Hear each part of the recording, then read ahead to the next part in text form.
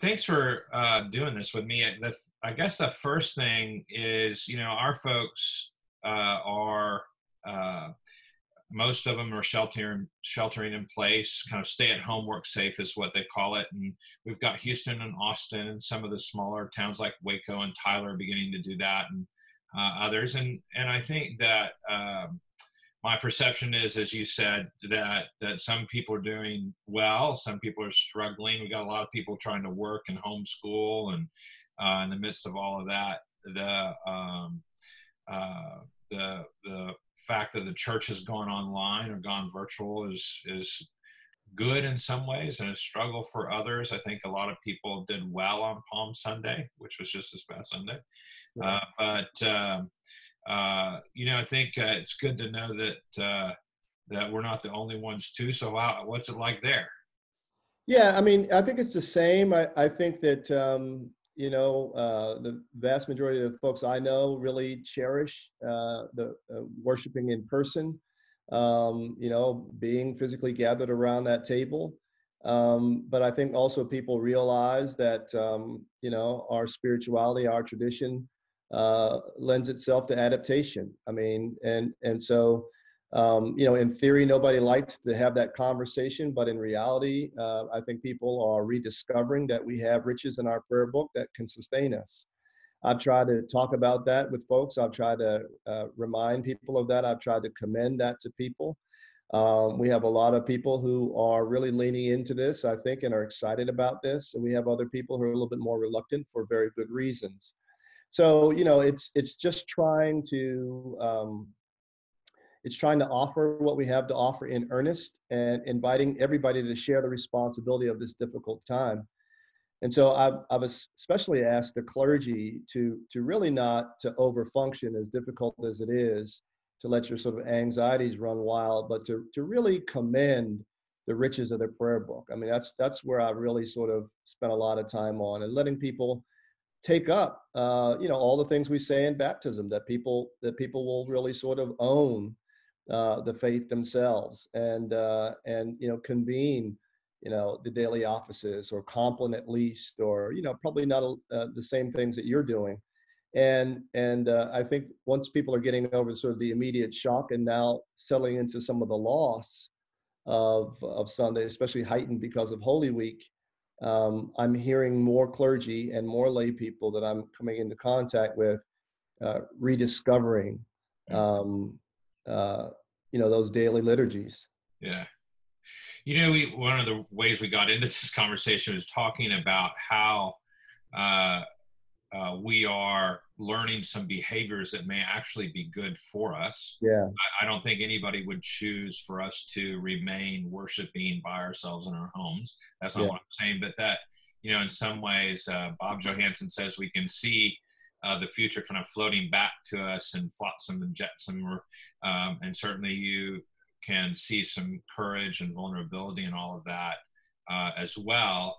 Uh, what are some of the things that you see that we might be learning uh, now that that you know when this is uh, comes to our new normal or a different normal we may need to use and fall back on for mission for ministry? What are the things you think people ought to be paying attention to? A couple of things. Uh, one, one of the things that I, I've, I've gotten uh, a, a, great sort of confirmation of is that we've been talking about in the Diocese of Atlanta and, and no doubt in the Diocese of Texas and other places this notion about innovation and adaptation. We've been talking about that. I've been singing that song every day of the week and twice on Sundays, right? As the Spirit's activity in, in us and through us in leadership to prepare us for the future that God is calling us into. And um, I, I, think we are experiencing a little bit of the benefit of having had that conversation prior to this. And so um, I, I, think that as we sort of evaluate across our, our diocese, um, people are at various speeds, but nevertheless sort of embracing this notion that we're just going to have to adapt. We've talked about the church is not closed, the church is adapting. And the truth of the matter is, is that when we look back over the church's history, uh, we have responded to, to many things uh, very well by and large. We have not initiated lots of things, but we have responded. We have found um, that our faith has served us well in response to things that the world has thrown at us. And so we're finding that. I think one of the things we're learning is, is and, and I'll, I'll tell you a story about a little congregation. A little congregation in North Georgia uh, was was motoring along wonderfully well, hundred and some odd souls, just you know, just doing the the meat and potatoes of the work. Good priest, great lay people, and uh, and uh, not somebody on my radar who I thought was going to sort of really lean into adaptation, innovation but out of uh, an abiding sense of pastoral care, realize that there's an opportunity here. Now their uh, their attendance has tripled online, and they are incorporating members as far away as in India. Uh, on the on the the uh, sermon that I got to preach and and uh, to them uh, via online, a young a youngster in that congregation who was 16 so read one lesson, and a dying woman who was 99 uh, uh, was recorded to read uh, one of the other lessons. And there we were, nevertheless, together. And the woman uh, sent a message to the priest saying, Finally, though I've been getting visited, I'm finally in worship now. And so I, I think, where do you go from there? You don't, you don't close that door once this is over, right? And so I, I think what we are learning is, is that um, proclamation, we, we, we perhaps have been limiting proclamation perhaps not been thinking as broadly about proclamation as we have needed to. Uh, I think we've also uh, learned that we've actually got something to say. Our, we've got a robust faith that we can commend. And so we've got to think about the delivery systems. Um, and so that, that part of it is very exciting for me. Uh, some people are, are getting into this competition about, you know, sort of in person and online. And, you know, my answer is yes. You know, my answer is is that you know we've got a good God and a good gospel to commend. How how about let's do all of that. So I think that's that's number one. I think the other thing we've learned is that um, you know uh, we've had the luxury of debate about change in the church for for for a while now, and that and and Corona has come and taken that luxury away from us right now. And, uh, and so a number of congregations are really having to figure out what do we do and what, has, what is essential? What is essential uh, to this enterprise? And I, I think those are hard conversations. We've had the luxury of sort of dithering about them, and we don't now. And so, um, you know, yeah, those are just a couple of things that come to mind. And, and I have to tell you, I'm excited about that because I, I under, my understanding of Anglicanism is sort of outlined at the very beginning of the Book of Common Prayer, which is we hold on to a tradition, yes, uh, but we also account for the exigencies of time. And that's what makes Anglicanism, I think, a living, breathing thing rather than just a, a sort of beautiful museum piece. Right. Uh, and we're being forced into that. Yeah, yeah. Now, I think that's very similar in our listening to clergy talk about um, how powerful it is to have people engaging with them during worship and a couple different ways in which they're doing that online and um, you know the the fact that people are looking at it far more than just their parishioners so they know they're they're uh, receiving views if you will or participation uh, from uh, far and wide. And you know, in a in a time when people would love to see what you do before they go experience it, so they know what they're getting into. Uh, video, yeah.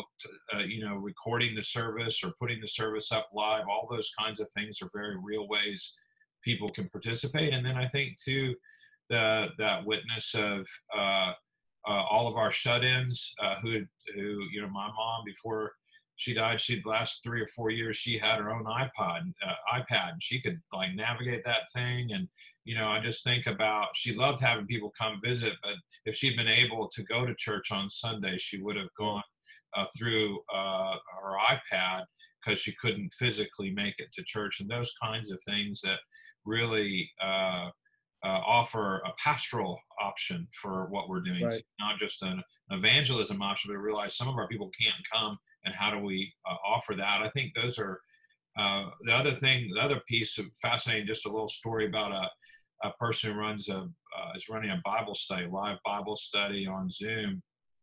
Uh, uh, I'm sorry, on Facebook, uh, the live Bible study on Facebook, and they they had over 200 people watching Uh, and he said, you know, I'm lucky to get five people in, in, in the vestry uh, right. Uh, with the Bible. Um, was right. that like? And I said, well, yeah, of course, but you know, I didn't have to put on clothes to go to that. I didn't have to put my shoes on, get my kids taken care of, feed everybody. You know, I yep. could actually get everything done that evening, send the kids off to do homework, and join you yep. for Bible study. And so you begin to realize our ministry itself, our actual proclamation of word beyond just service, the Eucharistic service uh, or uh, prayer services can can really tap in. So, you know, before we started uh, to record this, we were talking a little bit about leadership.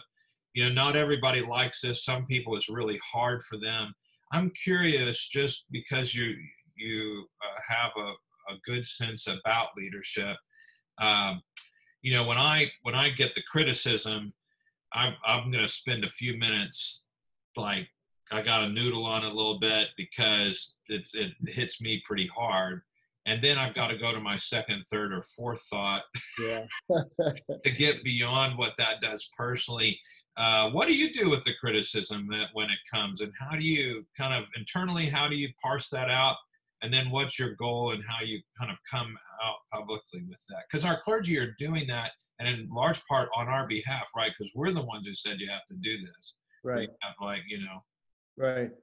No, I, I think that um, yeah, I don't I don't know if I have any better s- skills uh, than than you do in this uh, uh, to commend. I think that um, uh, like you, uh, it stings when it comes, um, especially because what you're attempting to offer in terms of leadership activity is uh, is you're trying to account for the, the pastoral piece. You're trying to take care of people uh, and you're trying to do what is what is what is good for the system ultimately, right? And so it always stings when you get the criticism. But I, I think the first thing you got to do is you got to do you have to noodle on it. I think you, you we have to have the capacity to hear the most unflattering interpretation of ourselves and of our work. I, I, so I think you got to build up some muscles there, right? And you got to be able to stand there. Now, people don't get to sort of trash you personally, right? I, I think you sort of you, you sort of throw that out, but I think you you you you you stand uh, and face up to you know I think uh, the criticism that is even unflattering about you because there's there's oftentimes something to learn there. I have found. In fact, the truth of the matter is, if if I'm anything, uh, especially in my work in the church, I'm the product of some people who who didn't buy everything I was selling, who brought a heavy dose of constructive criticism and, and maybe even some some cynicism uh, to some of the things I've said or tried to do, they have helped me. They have prepared me. So that's number one. I think number two is is that you, you gotta you gotta engage in some um, uh, some self management. I think when when we're noodling in the face of criticism, we can default to some some old narratives in our head that come from home or come from other places, and if we're not careful, that stuff uh, we give that stuff permission in the face of criticism, and then we end up going out and doing things that we otherwise would not do that are against our better judgment. Uh, and so I, I, think you you got to sort of uh, take a look at yourself. You got to hear from yourself. You got to pause a minute and realize, okay, what what is this narrative? Um, am I I bringing back some old words about my worthiness or about my anxiety or whatever it is? And then I think the last movement you got to do is you got to figure out, uh, do I refine or do I hold steady? Yeah. Do I refine? Do I pivot? Do I admit a misstep? Uh, do I admit a blind spot? Or do I hold steady? And for that piece, I always engage others. That that stuff is always done with others. And so you have a diverse team of, of people who think differently but are ultimately aligned around purpose. And you say, hey, gotten some feedback about this or that or the other thing. Uh, let's put that back in the, in the machine here and think about that again together.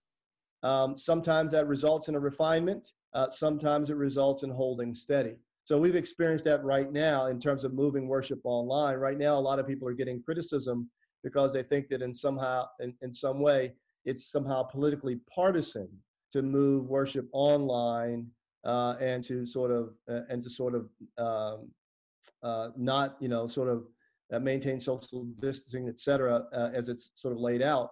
But as we have told people, is, is that we're not afraid and we're also uh, not sort of being partisan in this regard. What we're trying to do is just uh, uh, say, hey, Rob. I I, account ha- account for an abundance of caution. And so political directives aren't our ceiling height, they're our our, our floor height, Right. right? Right. Right. And so is what we try to help people understand. But yeah, it's been difficult. And uh, I think the other thing too, we have to remember when we're facing up to that criticism is, is that it's ultimately not personal. Right. Yeah. Exactly. Exactly. And and, and people are dealing with their own stuff. I mean, it's Exactly. there's a whole other series of narratives we don't get we don't get the privilege of seeing necessarily unless Right. we have real real relationships with folks. Exactly. Yeah. But you know, these are these are hard lessons to learn, but I, but I, I think that this is the stuff that leadership is made up of. Yeah. So, two last questions. One, uh, as you kind of look out into the future, and we, uh, what would you like to see us kind of take with us there? Not just kind of our learnings, but are there things maybe you don't see quite yet? You'd love to see us step into a little bit more uh, as we go. And then one last fun question after that. Yeah, I'd like I'd love to see. Um, um, in addition to sort of uh, doing the, the daily prayers that are online and all that sort of stuff that I've been very proud that we're offering, I'd, I'd love to see people sort of pin this more to scripture as Mhm. well. I'd love to see people find some imaginative ways to sort of get get those 66 books, uh, you know, going with the people. I, I'd love to see us uh, use this as a real opportunity to to dig into the deeper stuff uh, of the faith. Uh, so, you know, what did Ezekiel do? When he was in exile, when he was, you know, he was at, stay at home. What did Jeremiah do when they were at stay at home? Um, how have men and women, you know, in, in centuries past and millennia past, held steady and found faith? You know, when the worship was, when the, when the temple was destroyed and people had to worship differently and pray differently, what did they do? So what can we call forward? So I always like to say that this is a neo-apostolic age, right? And so and so maybe we go forward by going downward into those stories.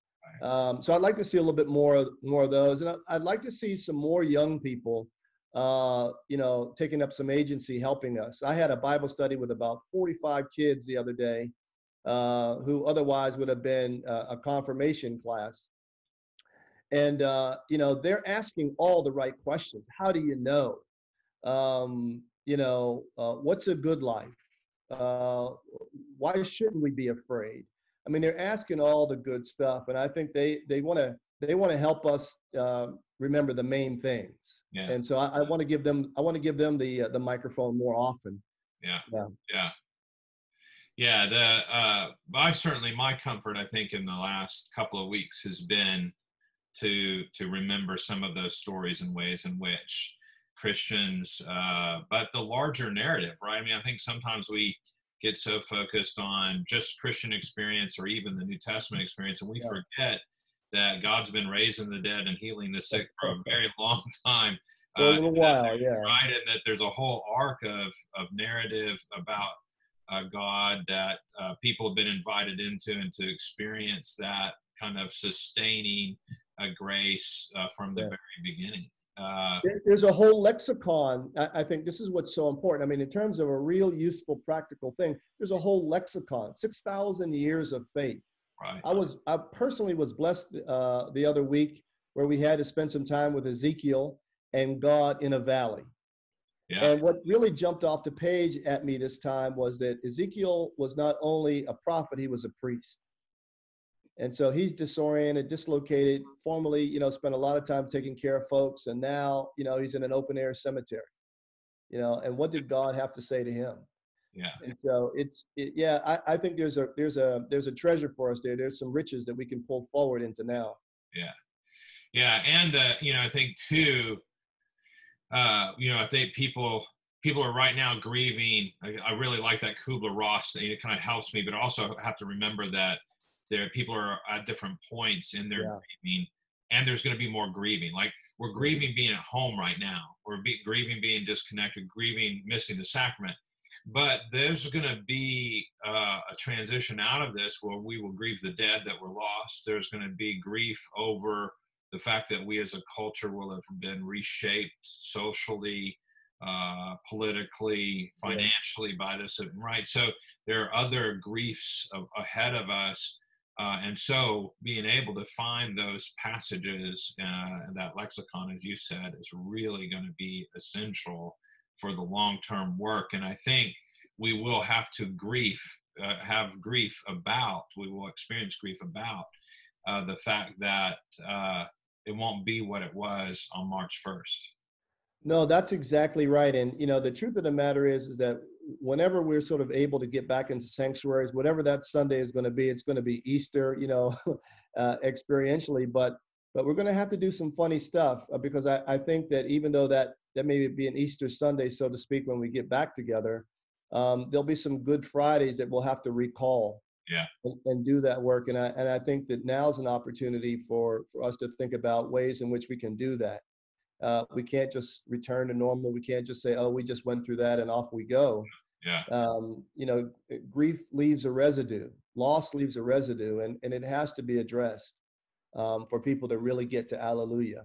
Yeah, yeah, and it'll come back. It I mean, will. uh, the the the mourning, the loss of fam- we know this through the mourning loss of family members, don't we, or a friend, uh, and which the season comes back to us. We next Lent won't be like the previous Lents. Right. Right. We will right. remember. And some of us, you know, if we look at an 18 month tail on this, some of us may be in isolation at that moment. And so, you know, that will itself play play some havoc on our desire to normalize Yeah. uh, the past uh, and our um, uh, nostalgia. I, I, there was an old NPR. I'll say this, and we can go to the next question. uh, The last question. There's an old NPR thing. I, it was years and years ago, and they had a, uh, uh, scientist on there whose his his work was he was a psychologist. I imagine he his work was to study happiness, and uh, he and so they asked him, well, what makes people happy? And he said, a lack of nostalgia. He said that if you can if you can remove nostalgia, then you can remember the way it really was, and having remembering the way it really was. To your point about the scripture, even uh, the remembering the way it really was will help us remember uh, that there's always hope in whatever reality we face. And if we have a little bit of hope, then we can be happy about where we are, uh, as opposed to measuring ourselves over and against a false reality of the past. Yeah, I think that's very wise. I, I was struck by uh, the Queen's address the other day. Uh, in 68 years of, of reigning, Mm, this was only her fourth address. right.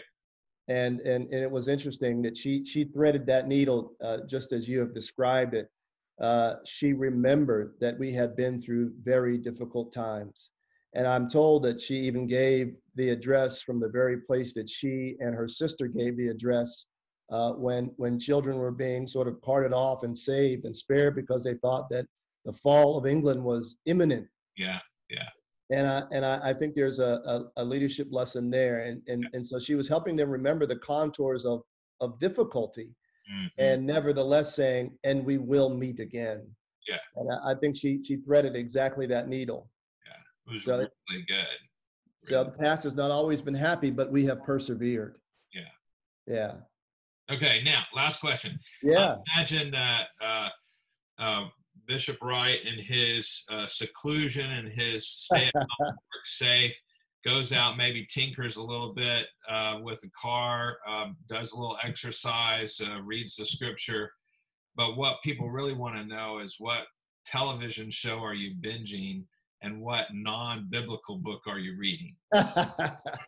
Let's see. I don't know about a non-biblical book I'm reading just yet. I can tell you that my my wife uh, uh, uh, found on Netflix this uh, this series called Unorthodox, Oh, and uh, it was Yeah. fascinating about a woman who had been a member of an Orthodox Jewish community, and what it's been like for her to sort of leave that community and find her her own way.